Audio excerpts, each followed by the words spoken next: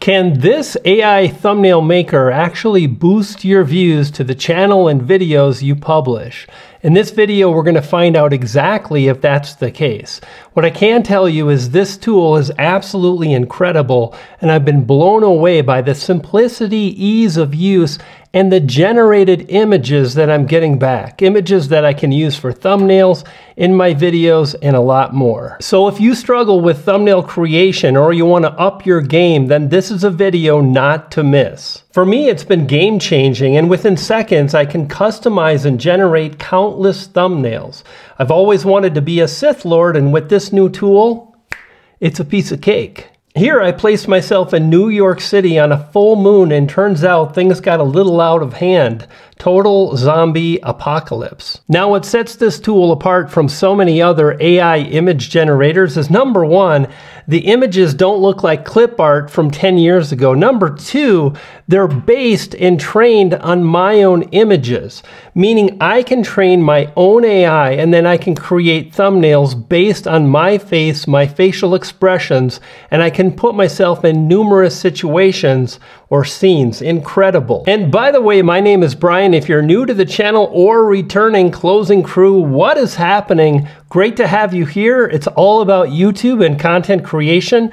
Let's jump into this AI tool. I think you'll find it helpful. Oh, I want to mention there are no affiliate links associated with this video or any tools I mention in this particular video. And this particular thumbnail tool handles hands, fingers, eyes. It's absolutely incredible, including text, making it seamless to literally type out a few phrases while you're having your coffee in the morning before you publish and create a thumbnail quickly. Two things. Number one, I want to show you and share with you this incredible AI generating website. And I want to show you how you can clone yourself literally in about one hour. In fact, yesterday I spent one hour creating new images and I only used my cell phone. I didn't use the studio lighting. I was upstairs in my home. We'll go over that more.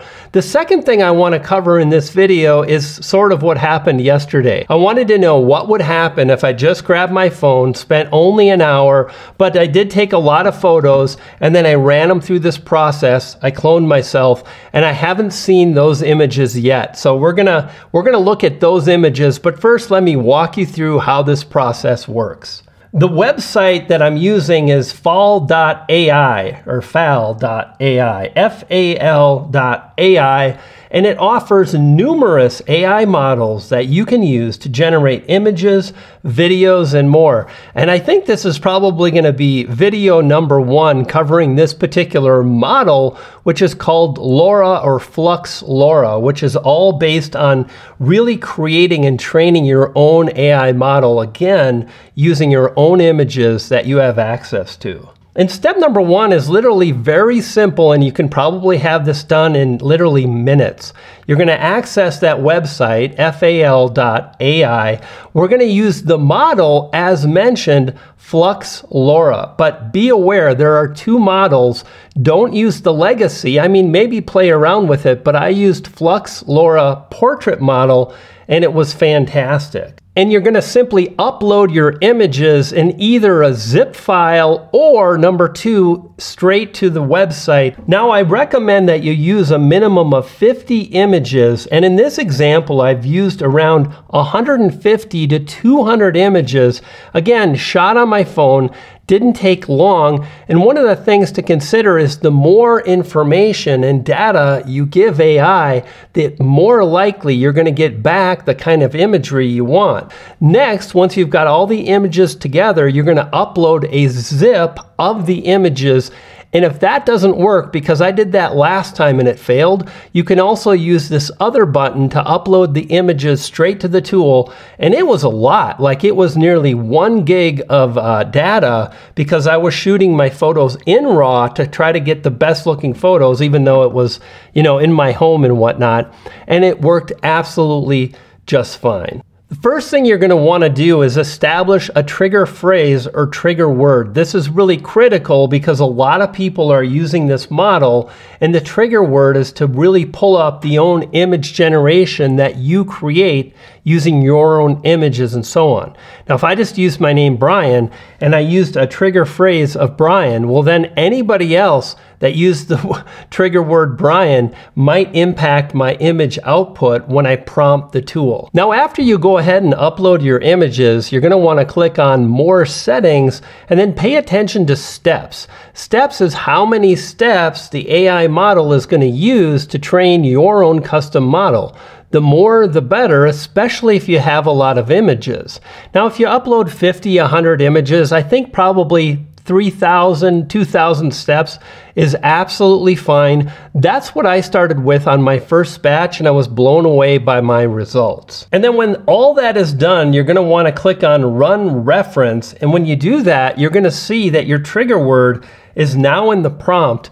And anytime you prompt this tool, again, notice now we're on Flux LoRa. All right, now we're ready to finally generate some images. We've trained our own AI model and I'm really excited to see uh, what we get. Let's create a prompt. This part is important. I'll go over in more detail exactly what I'm talking about and why, but first let's just generate an image. Photorealistic image, lifelike headshot, comma, shot in a professional video studio with professional lighting.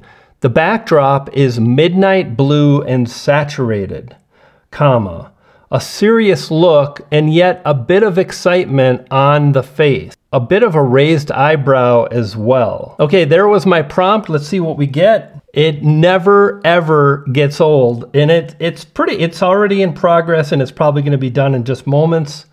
Every now and then it takes a bit of time, but generally three or four seconds. And here it is. And, and frankly, it doesn't look like me. It's similar. You might think at first glance it's similar. L let's try one more and see what we get. I think the prompt is, is good enough. Certainly for some of the uh, models I trained previously with my professional cameras generated better results, but I still think we can do great using just a phone and this one is actually pretty darn close. Oh my goodness, this is absolutely ridiculous. Now, let's just run this one more time to see what we get. Like I said, the likeness is not there on all the images, yet in a previous model, I nailed it and like the output was on point 85 to 90% of the time. And this guy does not look like me. Again, it's, it's like it's my brother so I want to go over really what I've discovered over the last few days. As mentioned, it's been about three days since I shot the beginning of the video you just watched. And I went in and I created dozens of image sets, trained a lot of different models, and this is what I've discovered. So the first thing I really started thinking about was the first time I started using this tool, I used thumbnail images I already generated, and those images are very specific to classic headshots. Shoulders uh, and up, that's it sometimes using some hands, and the tool does a fine job with that. But in the second set, I wanted to capture my full body, and that's where things went a little off the rails. And I think because the AI just can't see enough details in my face, especially when we're talking about a phone. Now, this has 48 megapixels. The video that I'm shooting on this camera here has 50 but they're totally different. And the iPhone's 48 megapixels are kind of marketing hype. I won't go into the details, but it's not even the same, not in the same boat at all. So what we need to do is we want to focus on just taking headshots with our phone like you're seeing here, here, and here. Now, when we do this, we're going to generate far better results. Now, you can go into this tool, you can click on request, and you can see all the images you've generated, which is really, really very helpful because you can go back and you can see the exact prompt that I used. So here for this image that we're seeing on the screen now, notice the prompt, lifelike, photorealistic, shot on a Sony A1 camera with a 50 megapixel f1.4 lens, shot with an aperture of 3.2, shot in studio with fantastic lighting. Backdrop again is midnight blue and highly saturated, wearing an electric yellow hoodie with a blue drawstring. Now this image is fantastic, but what I wanna do is I wanna modify it more. I'm gonna do that by going into settings, Now notice here, image size default. I'll click that near the bottom. The last option we have before custom is landscape or 16 by 9. I'll go ahead and I, I'll click on that now.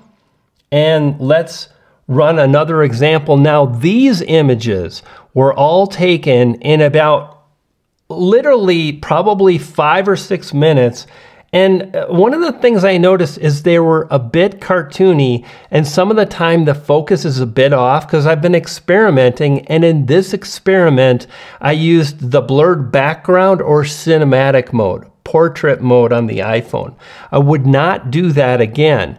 The reason why is because it blurs some of the image. So the focus might go to my chin, which it did in some of the uh, rendered photos I'm getting from the tool. So instead, just use regular photo option on an iPhone or Android and you're going to be better off. And again, the, the tool is going to do a great job with the full body. Just really zoom in and get very, very close to your subject to capture more detail. Now, this one is pretty darn good and it looks fantastic. This time I'm going to tweak the prompt just a bit and let's talk about the prompts.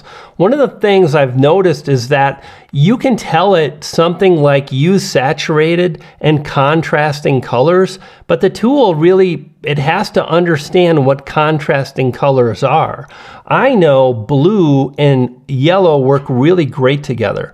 So let's create a prompt really playing with those colors and let's see what we get. Hyper realistic photorealism, comma, shot on a high-end photography camera in a professional studio setting. Backdrop is midnight blue and highly saturated, comma, wearing a yellow hoodie with blue drawstrings, comma, excited smirk on my face about this new tool that will help me to generate better thumbnails to get better click-through rate or viewers clicking on my videos and so on. That one's pretty good. I'm gonna save it now. To save, you can just click this little downward arrow here. I'll download that. Then I'm going to go, this is on my iPad. I'm going to come into the image. It looks pretty good, but the focus is definitely, it's a lot uh, softer than my other photos where again, I was really using a professional camera and so on. These still, I think these are more than good enough. Let's talk a little bit about the actual settings when you train the model. The more steps you take, the better, as well as the number of photos you use to train the model. And 10,000 steps is gonna generate better results. The cost of that is not really that much. So I started out with 20 bucks. You can do the same. You could start off with 10 bucks and you'd have plenty to train a model with say 3,500 steps and then generate a bunch of images, which I did and I was blown away by the results. Now, what about the idea of this this tool helping you to boost your views? Well, one of the most critical things is how often viewers are clicking on your video. And if you have a click-through rate, that's the actual metric. The metric for how often people click is called the click through rate. You can find it under latest video performance as well as other locations in YouTube Studio. And again, it's critical. If you're anywhere below, say, 4 to 5%, once you get up to a thousand, two thousand views, you want to strive to bring it up. In fact, you always want to strive to improve the metrics that really matter. And click through rate is literally one of the most important metrics to focus Check out the video on the screen, which can help you understand the algorithm and or get more views on YouTube.